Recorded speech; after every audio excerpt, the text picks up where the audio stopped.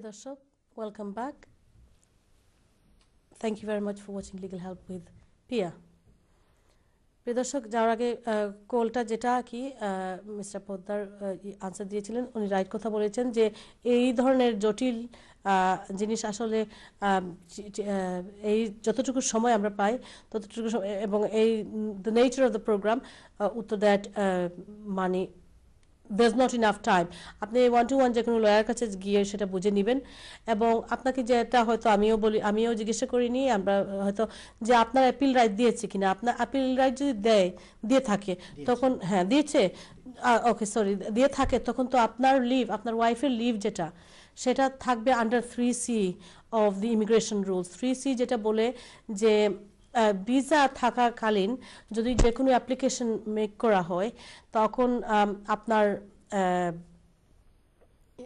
যে ভিসা ভিসার মেয়াদটা আবারও বেড়ে যায় by virtue of three C so সেটা you have leave under three C এখন কি হয়েছে যে the the law is any variation made must be new application must be made made before the, before deciding decision is made ওনার যেহেতু একটা decision হয়ে গেছে, সেটা অ্যাপিলে যেতে হবে। আরেকটা আরেকটা অ্যাপ্লিকেশন করলে মানে whether it will be invalid or not সেটা একটা জিনিস আছে to to to look at further আমরা এখানে এই সময় নাই এটা দেখার। এর জন্য you need to see one to one lawyer R variation আপনার যদি অ্যাপিল রাইট থাকে, তখন আপনি অ্যাপিল রাইট এক্সারসাইজ করতে হবে। অ্যাপিল রাইটের মাধ্যমে আপনি যা বলার বলতে পারবেন। এবং যেটা যদি গ্রাউন্ড তাদের রং থাকে, সেটা দেখাতে হবে যে কেন তারা রং গ্রাউন্ড রং রাউন্ডে কেন আপনাদেরকে রিফিউজ করা হলো? অথবা যদি আপনি ভেরিয়েশন করতে চান, মনে করেন আগে এফএলআর ওতে করেছিলেন, এখন আপনি মনে করছেন যে এটা আসলে এফএলআর এম আপনাকে রং অ্যাডভাইস দেওয়া হয়েছে, অথবা আপনি নিজে করেছেন। যাই হোক, যেটা হোক one stop appeal process law যেটা বলে যে আপনি জাজের সামনে সেটা দিবে। সেটা লাস্ট উইকও আসছিল এই- এই ধরনের একটা কোয়েশ্চেন ইনফ্যাক্ট লাস্ট উইক যে কোলার ফোন করেছিলেন any other application becomes invalid because of this law by three C এটা তারা করেছে to make sure all immigrants have one chance one application so যদি ও অ্যাপ্লিকেশনটা রিফিউজ হয়ে যায়, উনি যদি অ্যাপিল না করেন, তখন she or he becomes an overstayer So জটিলতা আছে এখানে and Mr. Poddar said the right thing that we do cannot we do not have the time. Uh, so আপনি ওয়ান টু ওয়ান আপনার আশেপাশে যে কোনো লয়ার কাছে আপনি বুঝে নিন। অসংখ্য ধন্যবাদ আপনার কোলের জন্য মূল্যবান ছিল। যাচ্ছি পরবর্তী কোলার কাছে। হ্যালো হ্যালো আসসালামু আলাইকুম। ওয়ালাইকুম আসসালাম। আমি হলো যে অতিথি আইছেন যে সামনে আমার খুব অন্তত প্রিয় একজন মানুষ তার কাছে আমি আমার আনসার চাই আমাকে আমার ইমিগ্রেশন ব্যাপারে আর কি। অবশ্যই। তাই হোকা আপনার জি জি। এই ব্যক্তি লম্বা করিয়া এটা দুই ফ্যামিলি সহ হাজবেন্ড ওয়াইফ এবং দুই বাচ্চা সহ দুই বছর আগে অ্যাপ্লিকেশন করা হয়েছিল এবং এক বাচ্চা উদ্দেশ্য জন্ম হয়েছিল আর এক বাচ্চার বয়স আসলে পাঁচ বছর। তখন আমরা অ্যাপ্লিকেশন করার পরে দুই বছর অ্যাপ্লিকেশন দুই হাজার এগারো করার পরে প্রায় তিন মাস পরে এটা রিফিউজ করে দিচ্ছে রিফিউজ করার পরে আপনার এটা রিকনসিডার করা হয়েছে এবং এর ভিতরে সাইনও আবার দেওয়া হয়েছে। এবং আড়াই বছর পরে কালকে একটা রিজেকশন করি আমার একটা ভালো একটা সাজেশন দেব আমি কিতা করতাম কোন দিকে গেলে, কোন অ্যাপ্লিকেশন করলে ফ্রেশ অ্যাপ্লিকেশন করলে ভালো হইব বা কীভাবে আমি আগাইতাম আমার একটা ভালো একটা সাজেশন আমরা অত্যন্ত দুঃখিত যে আপনার এরকম একটা খারাপ খবর এসছে। তো আমরা কিন্তু ডিসিশন দেখিনি। আর সত্যিকার অর্থে আপনিও ভালো করে আমাদেরকে বুঝাতে পারেননি কী কারণে আপনাকে রিফিউজ করেছে। তো আমরা যদি ধরে নেই যে হিউম্যান রাইটসের আন্ডারে আপনারা অ্যাপ্লিকেশন করেছিলেন জি জি। আমাকে একটু প্রিয় গলায় আপনি বলতে দিন আপনি আমার অত্যন্ত আচ্ছা, প্রিয়। এবং হিউম্যান রাইটসের আন্ডারে যদি করে থাকে সেটা তারা রিজেক্ট করেছে। আমি জানি না তার ভিতরে আপনি চাইল্ডস ইন্টারেস্ট আপনি দিয়েছিলেন কিনা। যদি দিয়ে থাকেন সেটাও হয়তো তারা কনসিডার করেছে। কিন্তু ফার্দার অ্যাপ্লিকেশন করার কথা এটা একটা ফরম্যাট অন দ্য ডিসিশন যে যদি এটা হয় তুমি অন্য কোনো গ্রাউন্ডে করতে চাও, তুমি করতে পারো। এরকম ওরা একটা বলে থাকে। আমার কাছে মনে হয় আপনাকে কোনো রাইট অফ আপিল দেয়নি বিকজ আপনি রিকনসিডারেশন পাঠিয়েছিলেন। তো রিকনসিডারেশন যখন পাঠায়, তখন আর তার কোনো রাইট অফ আপিল দেয় না। ওটা চলে থাকে ডিসিশন না হলেই। এক্ষেত্রে আপনার একমাত্র অপশন থাকে হলো জুডিশিয়াল রিভিউ করার জন্য। আর এরকম কমপ্লেক্স ম্যাটারে আমি আপনাকে বিনীত অনুরোধ করব যে কোনো একজন সলিসিটারের সাথে বা লিগ্যাল অ্যাডভাইজারের সাথে আলাপ করে আপনি পরবর্তী সিদ্ধান্ত নিন। যখন আপনি যাবেন, তার কাছে যে যে ডকুমেন্টগুলো পাঠিয়েছিলেন অ্যাপ্লিকেশন করার সময় এবং রিফিউজাল ডিসিশন এবং নতুন যদি কোনো ডকুমেন্ট থাকে, সেগুলো নিয়ে যাবেন। আর একটা কথা মনে রাখবেন, যদি বাচ্চাদের এদেশে সাত বছর হয়ে যায় যে কেউ এখানে জন্মগ্রহণ করুক বা যদি কোনোভাবে সে সাত বছর থেকে থাকে সেটাও একটা প্লাস পয়েন্ট হবে। I wish you good luck Thank you. Mr. Poddar is a qualified solicitor who is a ve- who has a very thorough and robust approach to immigration law. আর আমি অনেক নাম শুনেছি ওনার in the community thank you very much আপনার আনসারের জন্য। আমরা যাচ্ছি পরবর্তী কলারের কাছে। হ্যালো হ্যালো আপা আমি শফিকুল আলম বাংলি থেকে। বলতেছি যে আমি আমি নিজে সুখাহত আর কি নেলসন ম্যান্ডেলার মৃত্যুতে কিন্তু আমি করতাম পারি ধন্যবাদ আপনার কলের জন্য। I am so happy that আপনি যে কল করেছেন আর অবশ্যই he was such a remarkable man and he must be remembered আমরা যাচ্ছি পরবর্তী কলার কাছে হ্যালো আসসালামু আলাইকুম।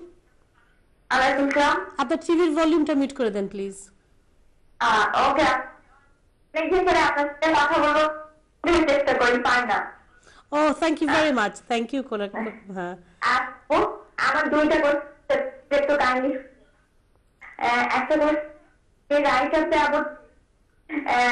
হচ্ছে আমি একবার বছরে রাইটার দেবত এটা শেষ আমি আর একবার হ্যাঁ আচ্ছা মোবাইল পাশে নিয়ে একটু আস্তে আস্তে বলেন।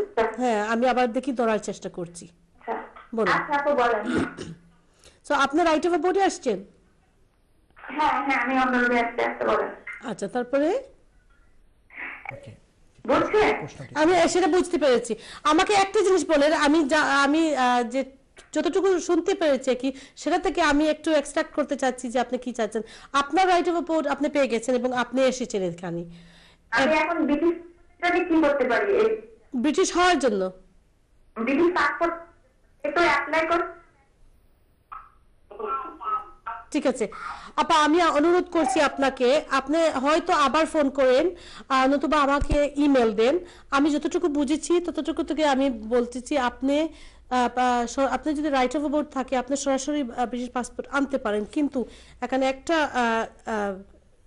সমস্যা হলো এইটা।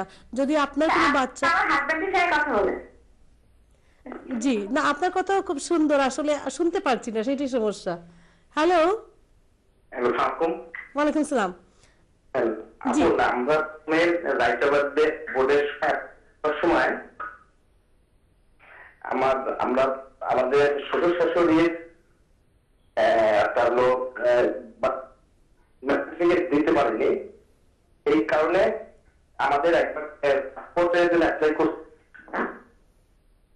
তারা রিফিউজ করতে যে আমরা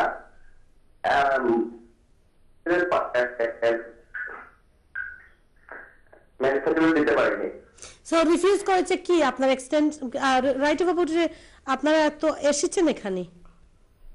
আমরা প্রথমে হাই আমরা পেয়েছি প্রশ্নটি। আচ্ছা অন্য ক্যাটাগরিতে ছিলেন তখন রাইট অফ জি, ক্লেম করেন। আমরা আমরা নিয়মটা জানা ছিল বলে আমরা অ্যাপ্লাই করি পরে রাইট করে নিয়মটা জানার পরে তার অ্যাপ্লাই করতে রাইট হুম হুম। অলরেডি আমাদের একটা জি। আমি ওয়াইফ পাসপোর্ট পেতে পারে এটার জন্য একটু জানা ভাইয়া আমার মনে হয় আমার মনে হয় বেস্ট হবে আপনারা যদি ফোন রেখে দেন তখন আমাকে শুনতে পারবেন এবং কি বলছি শুনতে পারবেন। তখন যদি অবশ্যই আমি চেষ্টা করব আপনারা উত্তর দেওয়ার যদি মনে করেন যে সম্পূর্ণ উত্তর হয়নি, আপনারা আমার সাথে যোগাযোগ করতে পারেন। এখান কন্ট্রোল নাম্বার কন্ট্রোল রুম থেকে আমার নাম্বার নিতে পারেন, অথবা আমাকে ইমেল করতে পারেন যোগাযোগ করতে পারেন। কিন্তু অনেক সময় আমরা শুনছি, আসলে খুব সুন্দর কথা বলেন দুজনই। এবং লাইনের একটু সমস্যা হওয়াতে কিছু কিছু কথা মিস হয়েছে। কিন্তু আমি যা বুঝেছি তার থেকে আমি একটা আনসার দিচ্ছি। আপনি রেখে দিতে পারেন, দয়া করে। থ্যাংক ইউ ভেরি মাচ তো যেটা আমি বলতে চেয়েছিলাম যে ন্যাচারালাইজেশনের লাভটা কি? ন্যাচারালাইজেশন লাভ হলো যে রাইট অফ ভোট পেয়েছেন, তার তার যে ব্রিটিশ সিটিজেনশিপ ওইটা পাস হবে না টু তার বাচ্চার কাছে। যদি সে বাচ্চা এখানে জন্ম না করে, জন্ম না হয়, তো মনে করেন যে বাচ্চা বাংলাদেশে হলো বা অন্য কোনো দেশে হলো, সে বাচ্চা ব্রিটিশ হবে না। সে বাচ্চা আবার নর্মাল ভিসা রুটে আবার আসতে হবে। সে এটার জন্য অনেকে ন্যাচারালাইজেশন করে। আর যদি there is one of you যে রাইট অফ ওপেড নাই যারা কি, যে যে এমনিতে ইনডেফিনেটলি পেয়েছেন এবং উনি তো ডেফিনেটলি ন্যাচারালাইজেশন করতেই হবে তখন আর এই সমস্যা থাকবে না। আশা করি আমি বুঝাতে পেরেছি আপনাদেরকে যদি সমস্যা হয় আপনারা দয়া করে আমাকে ইমেল করেন অথবা আমাকে আমার সাথে কন্ট্যাক্ট করুন। আপনাদের কলের জন্য অসংখ্য ধন্যবাদ। তো আশা করি সেটা আনসার আপনারা পেয়েছেন। I just wanted to give you one or two more updates phone প্রিয় দর্শক আমি জানি না whether I've told you that from the 12th of from the 28th of October I may have uh, told you this but যখনই আপনারা application করেন যে একটা এক্সটেনশনের জন্য, যে কোনো পোস্টের জন্য অথবা indefinite leave to remain as a British citizenship তো সেটা টোয়েন্টি এইট অক্টোবর থেকে আপনারা অরিজিনাল পাসপোর্ট ওটা দিতে হবে না। And these are settle F L R M set M set F তারপরে if you applying for British citizenship A N M N one তখন আপনার পার্টনার যদি if you are doing it for the marriage route পার্টনারের passport দিতে হবে না photocopy দিলেই হবে। আমি যাচ্ছি পরবর্তী কোলারের কাছে। হ্যালো হ্যালো ওয়ালাইকুম আসসালাম। জি। আমি একটা কথা জানতাম জি খোকা। আমি দুই হাজার এগারো আমার ডিজিটাল জি। somehow তারা ইয়ে করলি এগিয়ে যাওয়ার পরে আমি বলিনি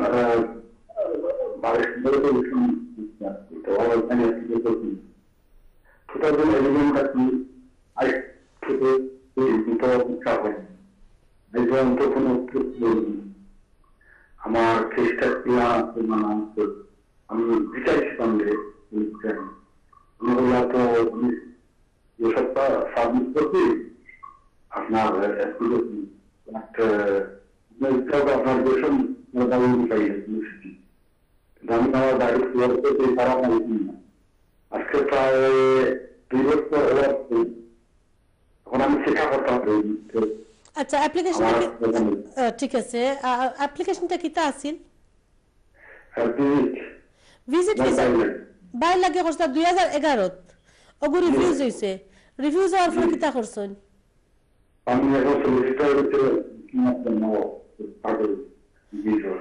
যে ইগু টাইম ইগু অ্যাপিল করছিলানি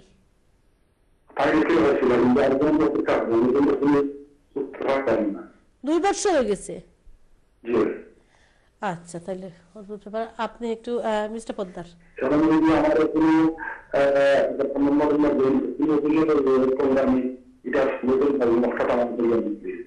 আ- আপনি কি মনে করেন?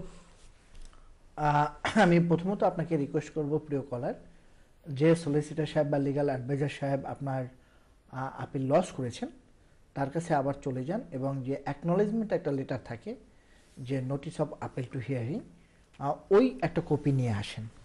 ওই কপি দিয়ে আপনি তাদেরকে জিজ্ঞেস করেন যে তোমরা কোনো চিঠি লিখেছিলে কিনা, যে ডেট পড়েছে বা হিয়ারিং হয়েছে বা কী রেজাল্ট ওই ব্যক্তি ভালো বলতে পারবেন। যদি তার উত্তরেও আপনি স্যাটিসফাইড না হন ওই যে নোটিশ অফ আপিল হিয়ারিংয়ের উপরে দেখবেন একটি নাম্বার আছে বা বর্তমানে নাম্বারটি চেঞ্জ হয়ে আইএটি যে নাম্বারটা রয়েছে ও থ্রি হান্ড্রেড দিয়ে ওই নাম্বারটা নিয়ে আপনি ওখানে ফোন করলে এপিল নাম্বার দিলে তারা আপনাকে জানাতে পারবে। তবে এক্ষেত্রে আপনাকে ওখানে অ্যানলিস্টেড হতে হবে যে আপনি তার স্পন্সর ছিলেন। যদি আপনি সেই ইনফরমেশনে আপডেটেড না থাকেন, তাদের সিস্টেমে আপডেটেড না থাকেন, তারা আপনাকে বলবে না, তখন চিঠি লিখলে, চিঠি লিখে তারা আপনাকে জানাবে। ধন্যবাদ। Fantastic answer thank you very much mister. Poddar thank you প্রিয় কলার আশা করি আপনার উত্তর পেয়েছেন। আমরা যাচ্ছি পরবর্তী কলার কাছে। হ্যালো হ্যালো আলাইকুম। হ্যালো ওয়ালাইকুম আসসালাম। জি করুন। আমার ওয়াইফ এখানে আসছে।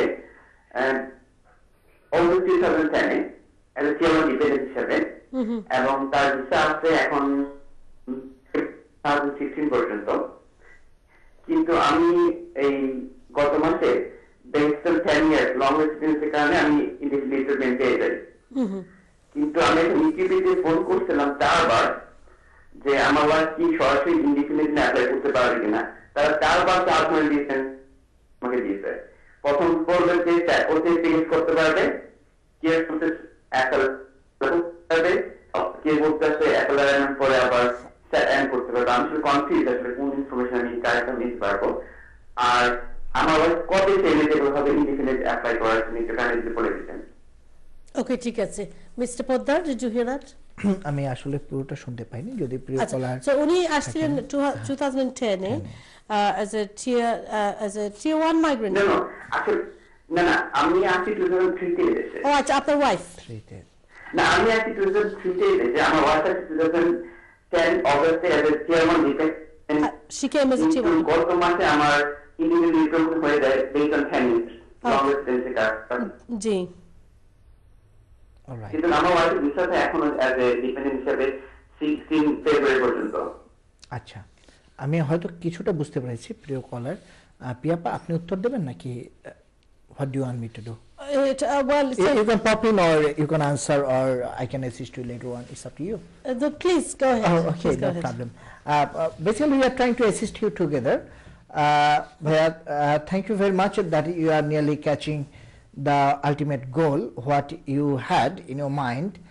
Uh, আপনি যখন অ্যাপ্লাই করবেন on the basis of ten years সেই সময় আপনার ওয়াইফ ইনডেফিনিটের জন্য অ্যাপ্লাই করতে পারবেন না নাম্বার ওয়ান নাম্বার টু যদি আপনি টিয়ার ওয়ান জেনারেল হিসেবে এক্সটেনশন করতেন সেটো অ্যাপ্লিকেশন তখন আপনার ওয়াইফ একই সাথে ইনডিফিনিটের জন্য অ্যাপ্লিকেশন করতে পারতেন। এখন প্রশ্নটি হলো যে আপনার ওয়াইফ তাহলে কবে পারবেন? আপনি যদি টেন ইয়ার্সের বেসিসে অ্যাপ্লিকেশন করে থাকেন, তখন তাকে আবার এফএলআর এম এ যেতে হবে। তখন টু ইয়ার্স কাটিয়ে তখন আবার তাকে সেট এম এ অ্যাপ্লিকেশন করতে হবে। প্রিয় কলার আর কোনো প্রশ্ন আছে?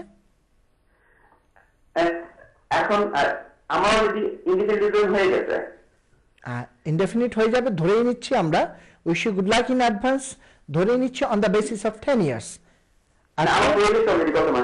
good congratulations very good এখন এখন আপনার ওয়াইফকে অ্যাপ্লিকেশন করতে হবে যে বা FLR M A G.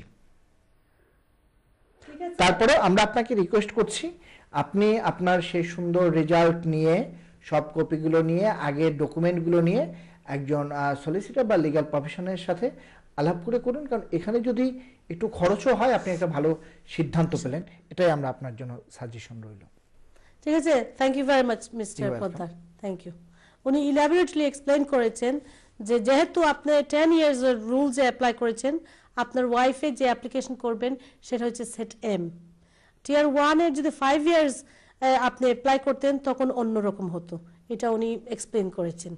Thank you very much আমরা আর এখন তো আবার চলে আসছে বিজ্ঞাপন বিরতির সময়তে। যাচ্ছি ছোট্ট একটা বিরতিতে।